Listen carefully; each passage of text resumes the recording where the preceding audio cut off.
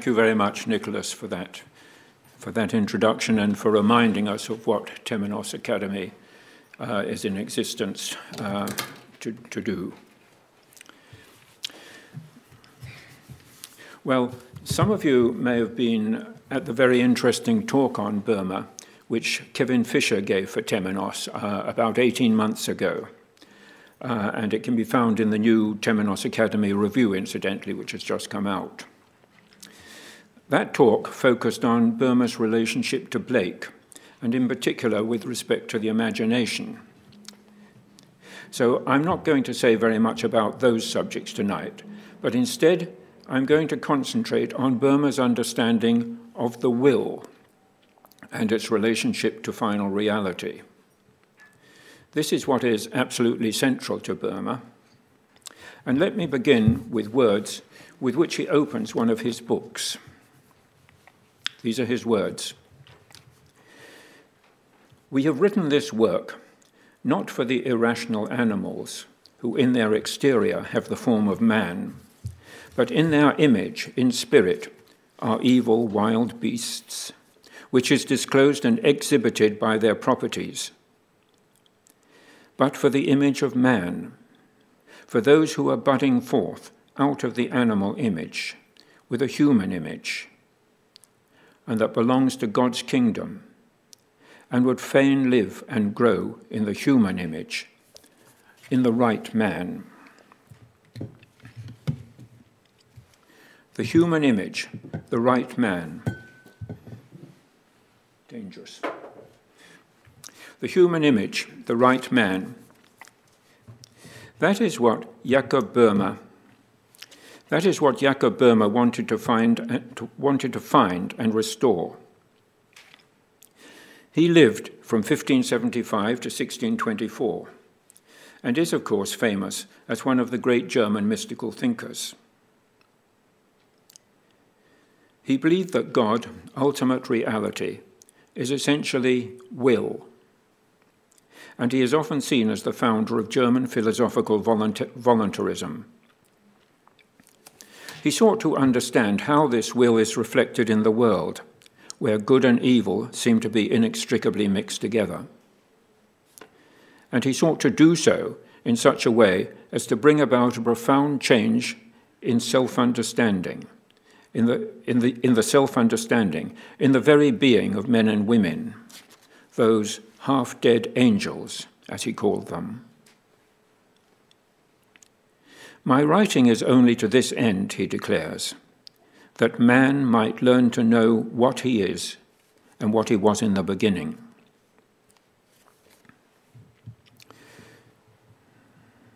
Boehme lived for almost all his life in the old town of Görlitz, a little to the east of Dresden and north of Prague.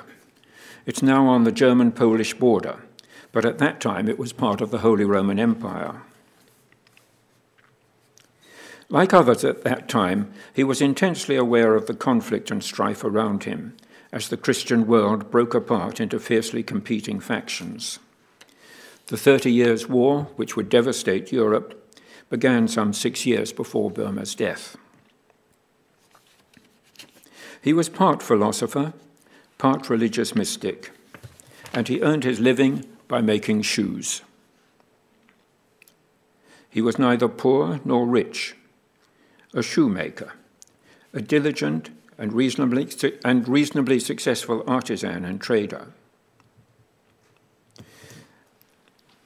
The house he lived in is still the house he lived in is still preserved in Görlitz and as you'll notice, it seems to have had a fresh coat of paint since the collapse of East Germany.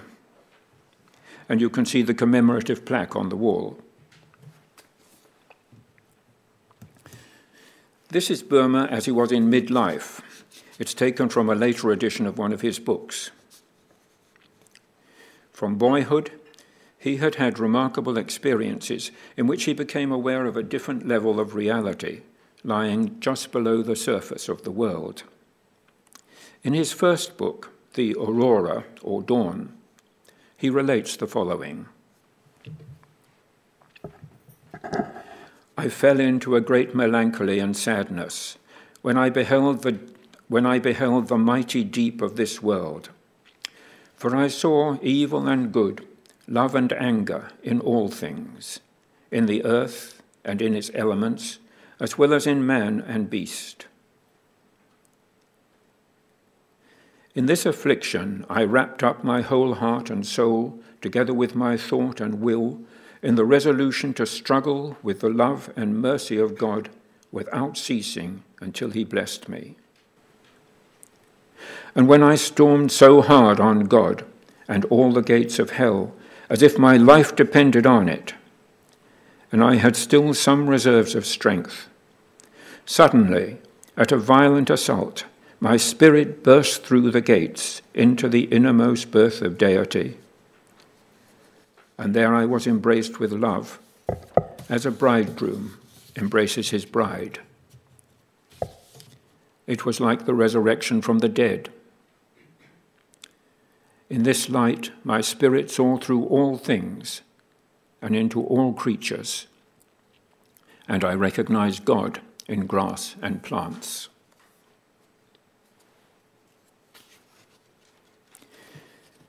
As we see here, Boehme was in some respects a nature mystic, but he was also a, but he was also a sincere Lutheran.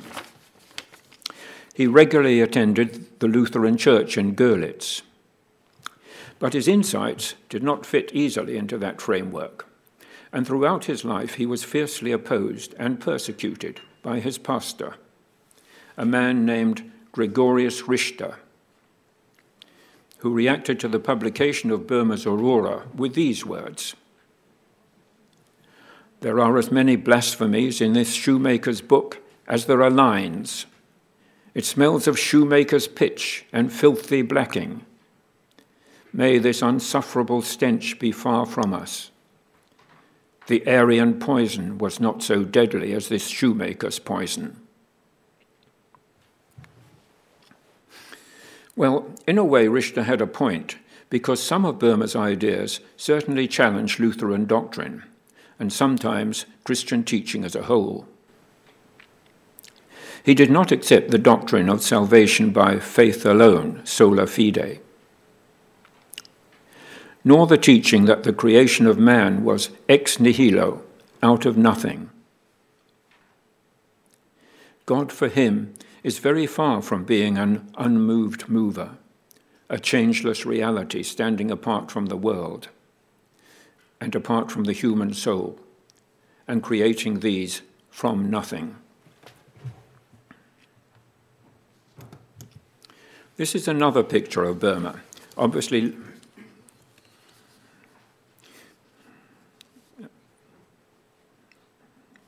sorry, I think we've gone slightly wrong here. Um,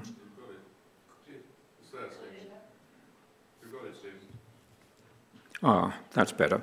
This is another picture of Boehme, obviously late in life. It may have been done in his last year when he visited Dresden as the guest of some of the principal men of the city. That this should have happened is remarkable, for Boehme's education was that of the artisan class and very limited, and the obscurity of much of his writing is said to result from this. Nevertheless, he must have been of high intelligence for he assimilated a good deal of the knowledge of his time.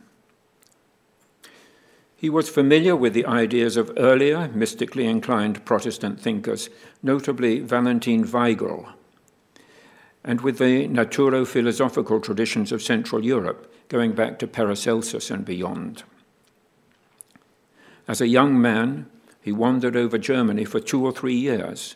We don't really know what he did but, but he was wandering about perhaps in the spirit of Paracelsus, who had written, So a doctor must seek out old wives, gypsies, sorcerers, wandering tribes, old robbers, and such outlaws, and take lessons from them.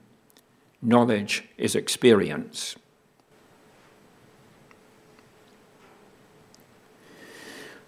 Although not, so far as we know, a practicing alchemist, Boehme is clearly familiar with its language and often makes use of its symbolism. The city of Prague was less than a hundred miles from Görlitz, and here, at the court of the Habsburg Emperor Rudolf II, The knowledge of the age, and notably the practice of alchemy and astrology, was centered. This may help to explain the support Boehme received from men far above him in social status during his long conflict with the Lutheran Church, which, even at the end of his life, gave him a Christian burial only with the greatest reluctance. But it would be a mistake to think of Boehme's ideas as the result of alchemical or other influences. As we have seen, his ideas sprang from the depths of his inner experience, and he is above all an original thinker. He would not have thought of himself as a philosopher, but he was of immense importance for German thought. Hegel called him the first German philosopher. And in Boehme's writings, we can find the seeds of Kant's interest in the subjective element in perception, of Hegel's dialectic of thesis, antithesis, and, and synthesis, and of Schopenhauer's conception of the metaphysical will.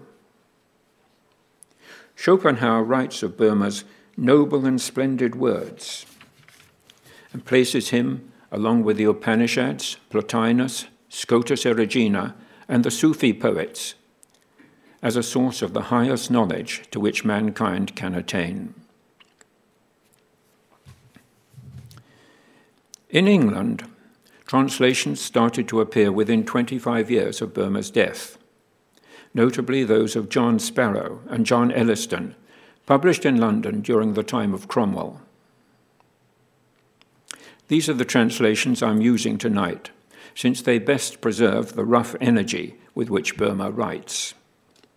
As Sparrow notes, so that those excellent notions might not be slipped over as men do in common current English, but that the strangeness of the words may make them a little stay and consider what the meaning may be.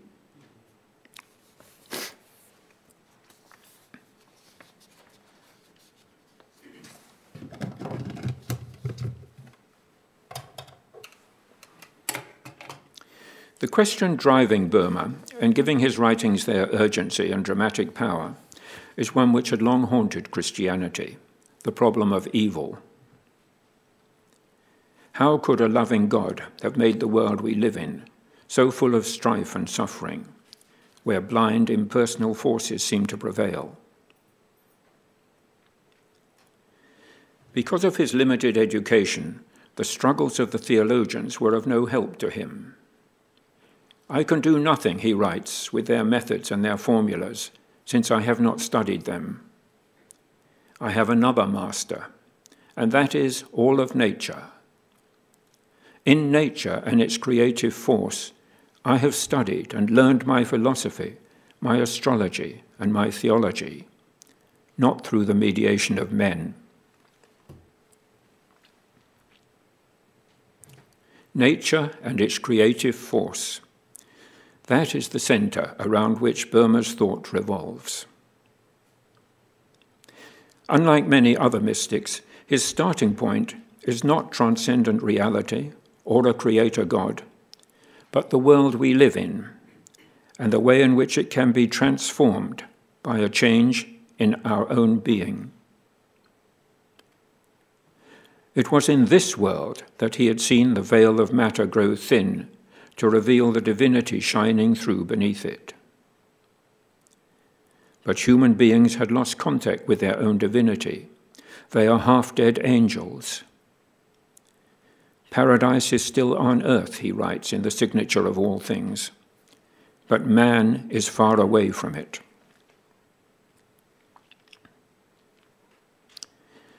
Boehme believed that ideally, the ultimate mystery, the origin of things, should not be inquired into at all. It lies too far beyond our ken. And yet, since sin has now arisen, we must know how it arose, or we cannot discover the remedy. We have to find out, he writes, from whence and by what means evil is come to be in the devils and in man and in all creatures. For such untowardness is found to be in all creatures, biting, tearing, worrying, and hurting one another. Everything is so at odds with itself. As we see it to be, not only in the living creatures, but also in the stars, elements, earth, stones, metals, in wood, leaves, and grass. All of nature was alive, driven by some inner creative power. But the result of this ceaseless activity, this mercurial wheel of nature, as he calls it, is often conflict and suffering. Therefore, Boehme concludes, we have no alternative. We must open the mystery of the process of manifestation and find for ourselves why this is so. And it is possible for us to do this. As we have come out of the divine, we can penetrate back into it. For every spirit, as he puts it, can seek back into its mother.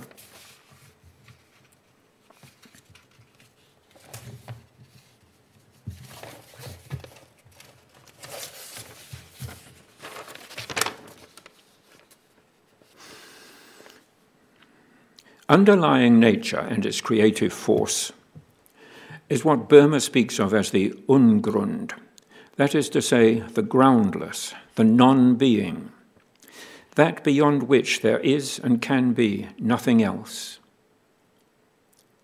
He calls it the abyss out of which all issues.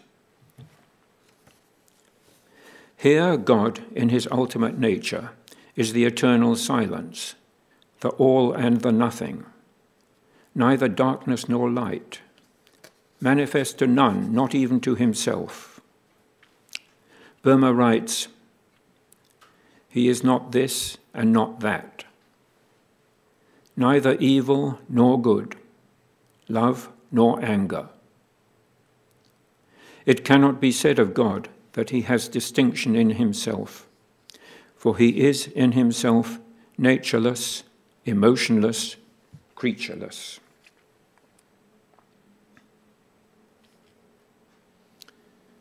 The ungrund is the primordial condition which precedes being. It is therefore without substance, nature, or qualities of any sort. In this initial stage, the divine is the eternal nothing, the still rest, the repose without being, die Stille ohne Wesen. There is no existence, and we are reminded of the absolute God of negative mysticism, of the not this, not this of the Upanishads, and of Eckhart's if there were a God of whom I had any idea, it would not be worth having him as God.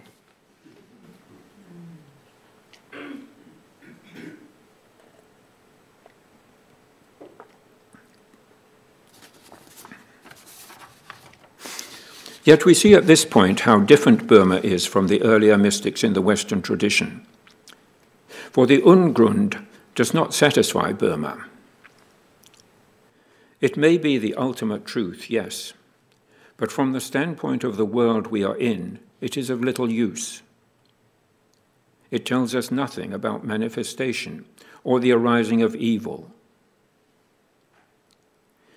That which is without nature profits me nothing I could to all eternity neither feel nor see nor understand it, he writes. He is convinced that nothing can be explained out of an absolute unity. Manifestation lies before us, it is a fact.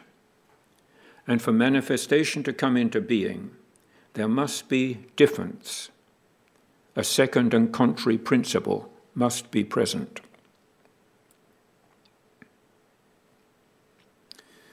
If the abyss, the Ungrund, is the source and cause of everything, Boehme argues, it follows that within its essence there must lie, if only in latent and potential form, some plurality, some dark source of difference from which a beginning can be produced.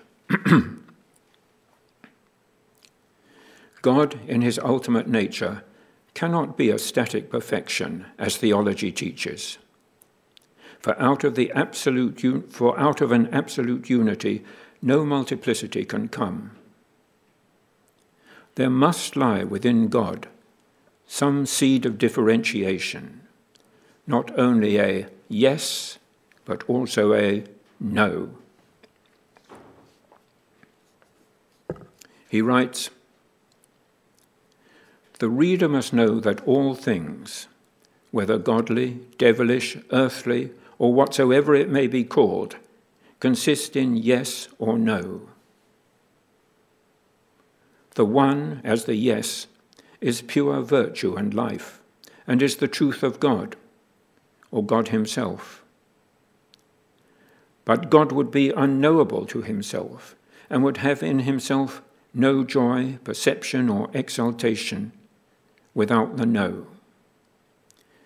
The no is the opposite to the yes or the truth. In order that the truth may be manifest as a something, there must be a contrary therein.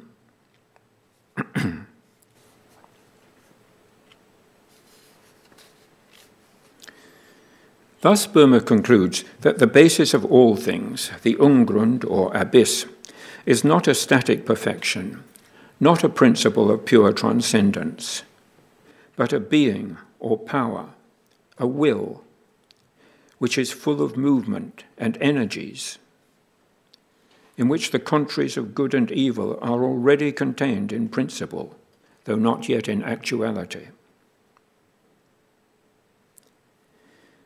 It is important to understand that this is not will in the limited sense in which we know it in ourselves. That's merely the tip of the iceberg.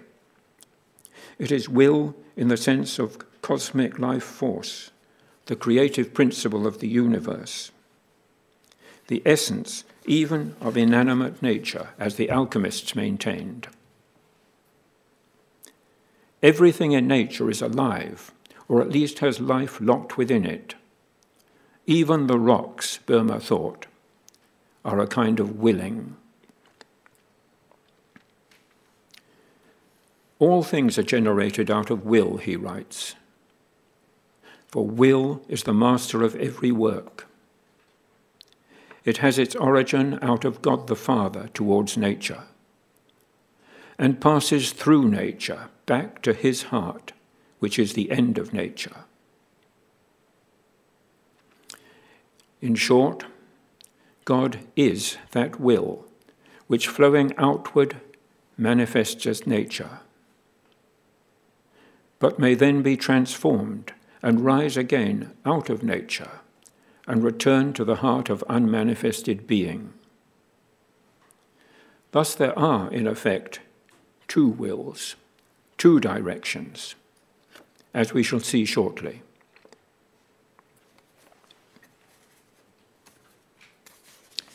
And so we find that ultimate reality is for Boehme a dynamic, ever changing process. The world is simply will in a manifested and materialized form. He writes The coming into being of the whole creation is nothing else but a manifestation of the all essential, unsearchable God.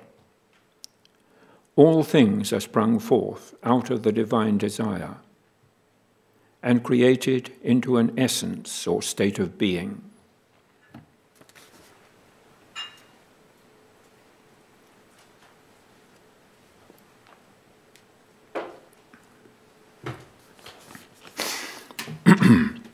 As the formless will, which is the ungrund or abyss, starts to come into manifestation, it begins to take on form and shapes.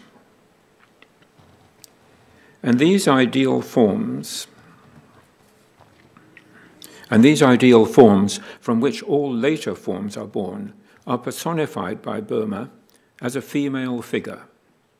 He calls her die Jungfrau der Weisheit, the virgin wisdom.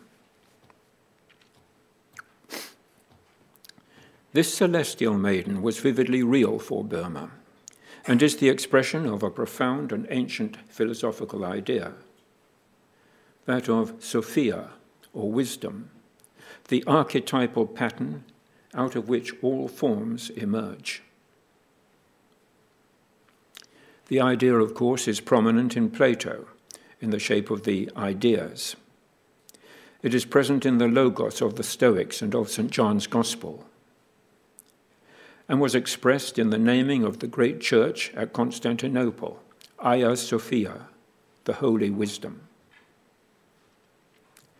But centuries before this, it is already present in the Old Testament.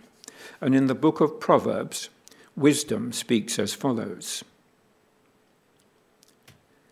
The Lord created me at the beginning of his work, the first of his acts of old. Ages ago I was set up at the first, before the beginning of the earth. When there were no depths, I was brought forth.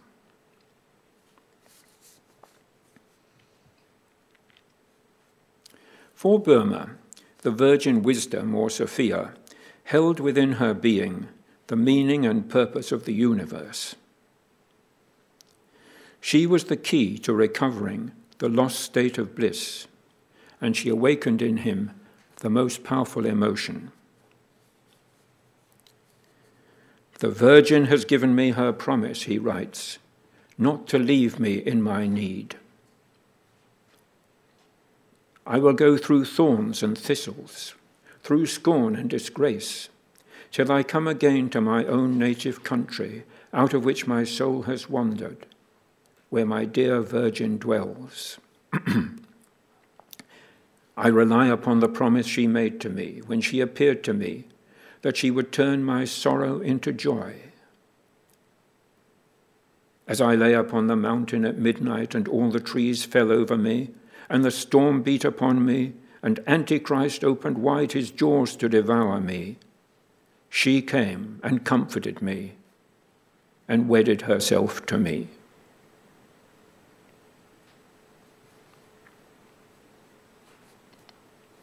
Just as the Virgin Mary bore the child Jesus. So it is the Virgin Sophia who will bear the new man. Out of the same virginity from which Christ was born, must we all be born, he writes. And the same conception is applied to the cosmos as a whole. As the unformed energy or will, which is the ungrund, stirs into life, it enters into and impregnates the Virgin, who is the wisdom or shaping power of God. And it is she who gives it form. Out of this primordial union of form or idea on the one hand and energy or will on the other, the world comes into being. The visible world, Boehme writes, is the symbol of the spiritual, invisible world. This world is an image of the divine essence and is God, revealed through an earthly image.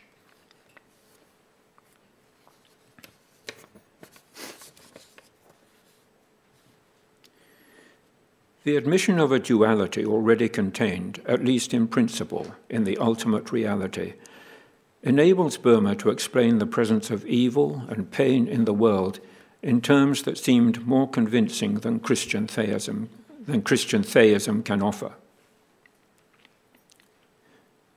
He sees that without evil, there could be and would be no good, just as without shadow, no light can be seen.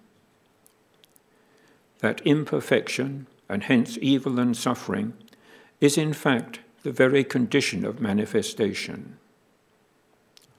Ohne Qual kann keine Offenbarung sein, he writes. Without pain, no manifestation can be.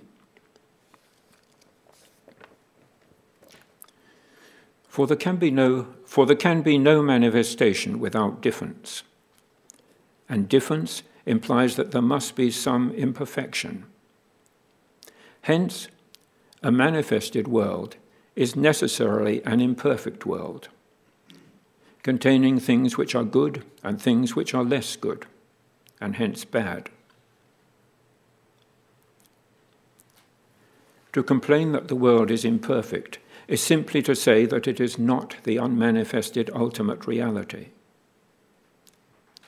If everything were perfection, how could there be light and shade, good and bad, high and low? Everything would rest in the primordial state. If God is to be known or to know himself, manifestation, and with it grades of being, good and bad, joy and suffering, is indispensable. The desire to good, Boehme writes, and the desire to evil, both must be, or God would not be manifested. Nothing in nature is to be rejected, or all would be a still nothing. God can come into manifestation only through a contrary, an opposite principle in himself.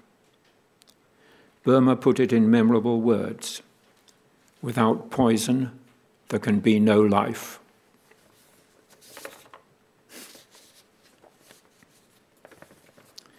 And so, like some Gnostic thinkers centuries before him, Boehme comes to the conclusion that there are two wills. But they are not, as the Manichaeans thought, two opposed principles of being, one good and one evil, forever in strife. Both wills are God, just as we find both wills in ourselves. There is a dark will and a light will. The dark will is what he calls the nature will, painful, restricted, greedy, asserting itself. It is the outward going will, the will to manifestation. He writes of tearing oneself away from the will of God. Using Christian terminology, no wonder his Lutheran pastor was shocked. He calls this outward going will the Father, the light will opposing it and leading to, and leading to reintegration with the divinity, he calls the Son.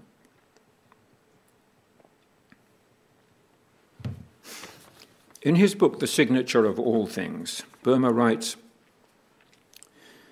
The being of all beings, that is to say, God, is but one only being. But in its generation or manifestation, it separates itself into two principles into darkness and light, into sorrow and joy, into evil and good, into anger and love, into fire and light.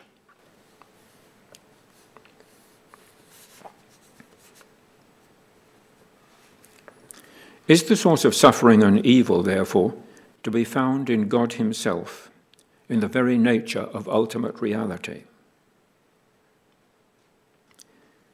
Boehme thinks of himself at all times as a Christian, and although he comes perilous, perilously close to admitting that it does, he just manages to avoid this.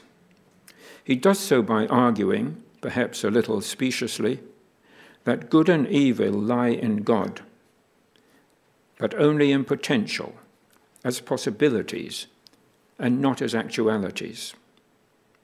They have not yet separated.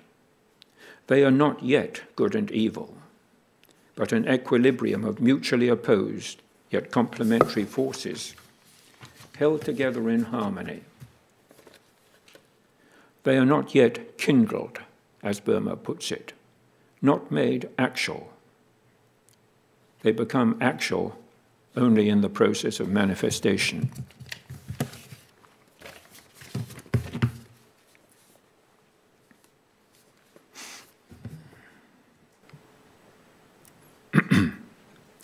Boehme calls these two fundamental principles of divine being, without which there could be no world the anger and the love of God. The anger is what he calls the first principle. Here, the love and light of God are hidden. It is the outgoing will which moves away from the initial unity. The will in all existence to assert and preserve separate, inter- separate independent being. But the will of life, he writes, broke itself away from the divine essence and went into experience and perception, out of unity and into multiplicity, and resisted the unity, which was the eternal rest and only good.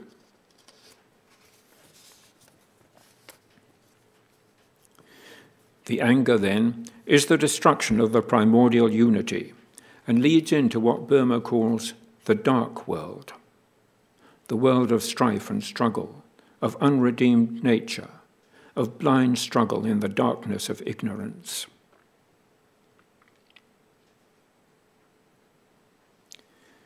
The second principle is the will which is opposed to this, the will to return to the initial unity, after having passed through what Boehme calls what Boehme calls the beast-like will of the self and turned away from it. It is the ingoing will. He calls it God's love and sees it in terms of light flowing both from and towards God. It is a total turning away from the assertion of separateness, individuality, and selfishness the assumption of a new identity. Here, Boehme says, the light is manifest and the darkness and anger hidden.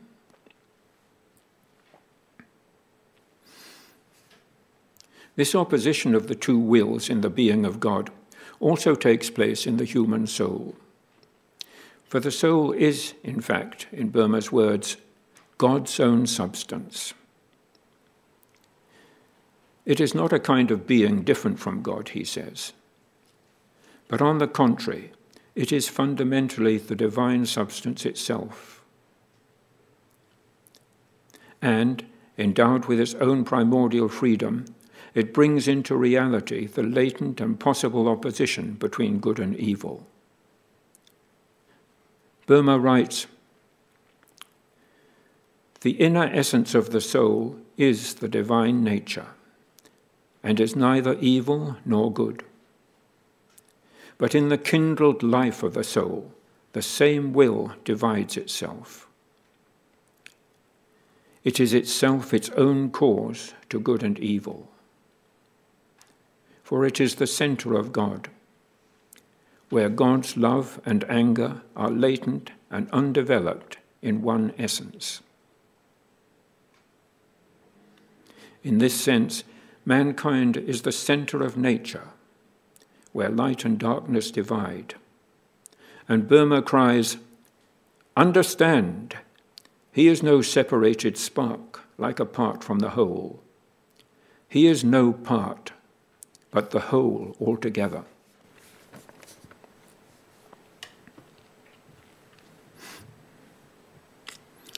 It is important to grasp that the second principle, the ingoing will, is not a different world, but a change in the way in which we see and experience the world. And behind this lies a distinction which was important to Boehme between two different mental faculties. As a man has two eyes with which to perceive spatial depth, so he has two modes of knowledge one to see the surface of the world, and the other to pierce below it. These two different modes of knowing are reason, the German word is Vernunft, and understanding, or Verstand. At first sight, they might, at first sight, they might seem almost the same thing, but Boehme saw in them a difference of the first importance.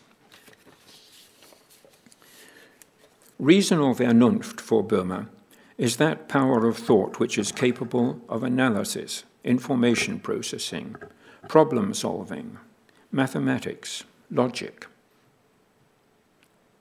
The word reason derives from the Latin verb reri, to count, and ratio was originally the faculty of counting. So it is conceptual thought, seen as a more or less mechanical brain function. It was exclusively on reasoning of this type that Descartes, a few years after Boehme, built up his new system of knowledge. It is, of course, immensely useful in relation to the world, but Boehme writes it comprehends nothing of the kingdom of God but the husk. It is restless and always goes round in a circle on the outside of things. It gives us only external dead nature, not the movement within nature, the spirit, the life of the will. It provides a partial truth, and therefore a superficial truth. And when cut off from the understanding, it leads to evil.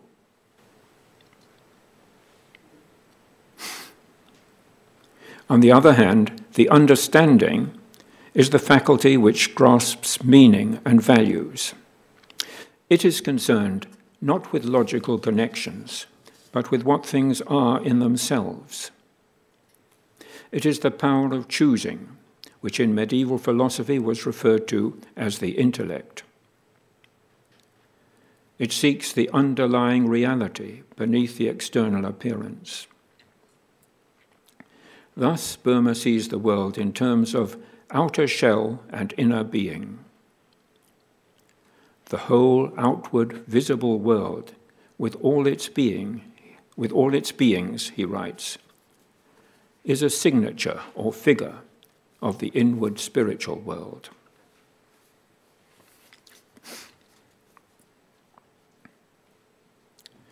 Both reason and understanding, then, are ways of apprehending the world, but they give us very different worlds. This double vision gives to Boehme's world a depth of meaning and a tense dramatic interest not possible to either faculty alone. When God reveals himself to man, he writes, then is he in two kingdoms and sees with twofold eyes. And closely linked to the idea of the understanding was another important idea that of the imagination. It can be traced back to the thinkers of the Islamic world and to Paracelsus, who spoke of it as the astrum or star in man. It is almost the same power as the understanding. But while the understanding is conceived as passive, the imagination is active. It is the creative force in which spiritual insight shapes the world we experience. Only when this happens, and the world is known in its inward meaning, Boehme tells us, can we escape the struggling nature world and approach the light and bliss of the second principle.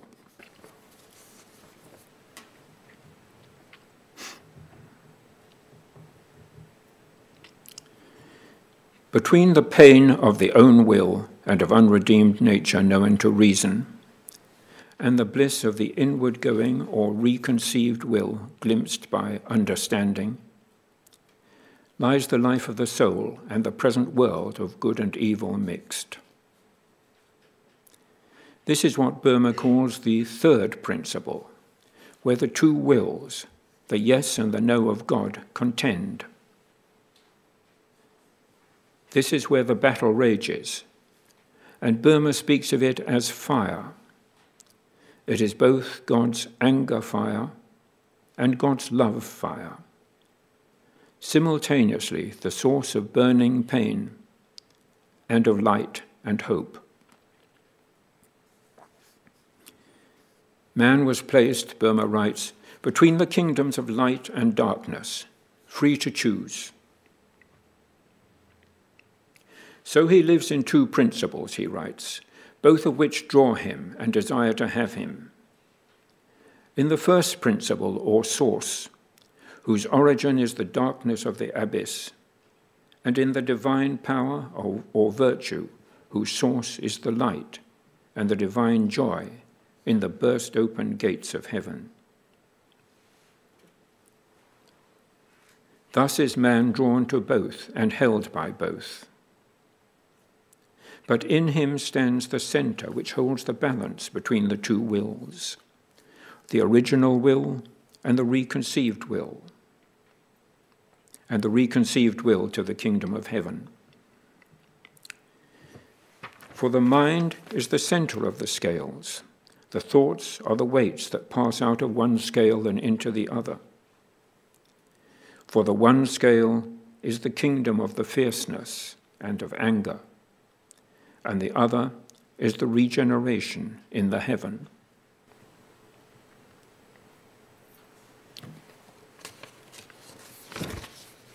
Thus, men and women may choose the own will or the resigned will. The first, he writes, tears itself from the entire will of God and brings itself into selfhood where there is no rest. With the second, man becomes the image of God again, for his will falls back into the unsearchable will of God, out of which he came in the beginning. In another place, he adds, Let each one heed what he does. Each man is his own God and also his own devil as he inclines to or gives himself unto either of these principles, the same impels and leads him and becomes his master.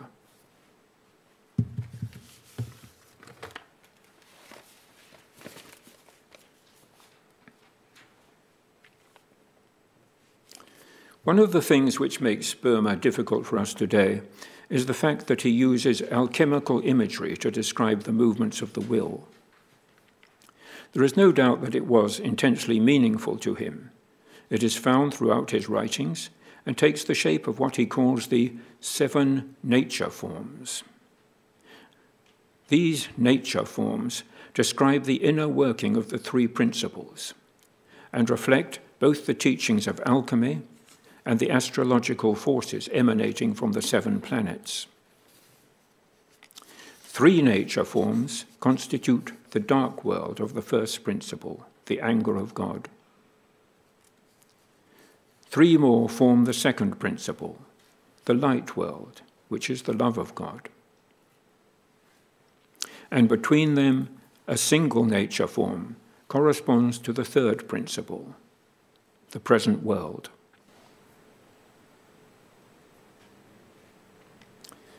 In the first principle, the nature forms which compose it clash, struggle, coagulate, and alter one another, as does sulfur, salt, and quicksilver in the alchemist's retort. All is at the mercy of the impersonal forces of nature. It is the struggling nature world, known to reason, Vernunft. It's interesting that we may find a last vestige of this thinking in Goethe's novel, Elective Affinities. Here, in a key passage in the fourth chapter, chemical imagery is used to describe the unrelenting forces drawing the protagonists together or driving them apart. How they attract, seize, destroy, devour, and absorb each other, in Goethe's words.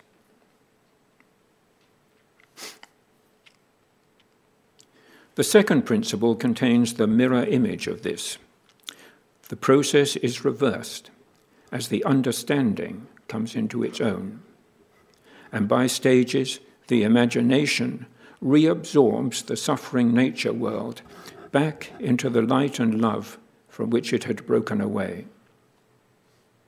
Boehme writes Then the sting of death is broken, and there rises in nature the other will of the Father, which he drew prior to nature in the mirror of the virgin wisdom, namely, his heart of love, the desire of love, the kingdom of joy.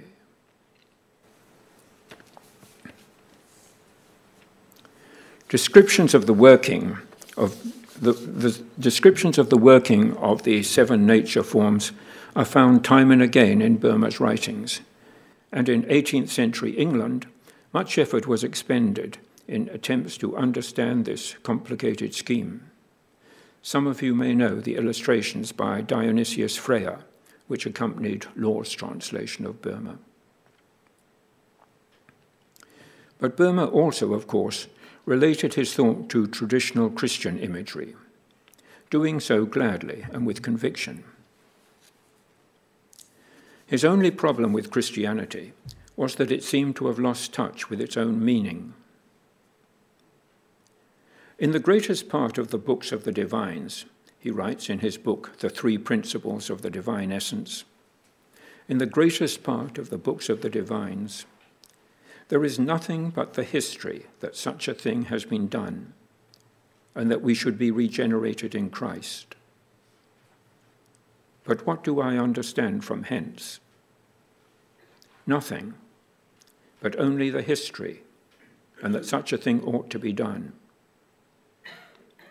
Our divines say that men must not dare to search into the deep grounds of what God is. Men must not search nor curiously pry into the deity.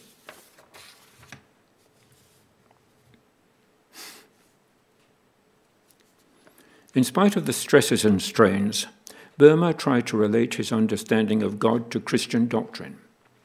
He often seeks to link his teachings to the Christian Trinity. As we have seen, he calls the first principle, the will outwards into manifestation, the Father. The second, the return towards unity, the Son. And the third principle, the human condition, the Holy Spirit. The crucifixion is the clash of the outward and inward wills, the cross on which both nature and humanity suffer. At other times, he connects his teaching to the doctrine of the fall, both of Lucifer and of Adam.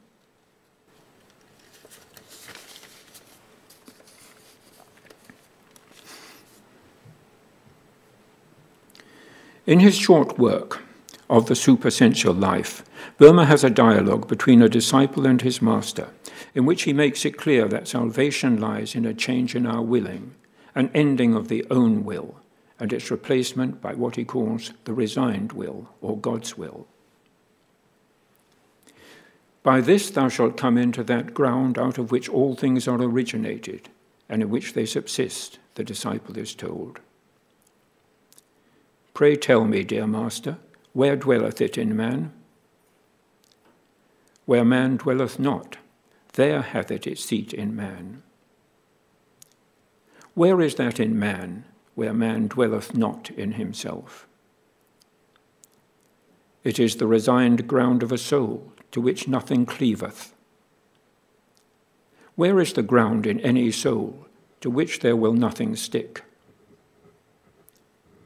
It is the centre of rest and motion in the resigned will. Nothing in all the world can enter into it, because the will is dead with Christ unto the world. Here it is, where man dwelleth not, and where no self abideth or can abide. Oh, where is this naked ground of the soul, void of all self? Tell me plainly, loving sir, where it is and how it is to be found of me and entered into. There where the soul hath slain its own will, and willeth no more anything as from itself. Boehme tells us that the result of this surrender of the own will and its replacement by God's will is a changed vision of the world. For knowledge is a function of being, and when our understanding of our own nature changes, the world also changes for us, and we see it with new eyes. For Boehme, this changed vision of the world is Sophia, the virgin wisdom, the precious maiden of the wisdom of God. In a passage in his book, The Three Principles, he imagines her speaking these words I am the light of the mind. I am the root's bride. but he has put on a rough coat. The root, of course, is the ungrund, the fundamental will from which all manifestation flows. And the rough coat that he has put on is the first principle or first will, the dark world of strife and suffering, the world as we see it now.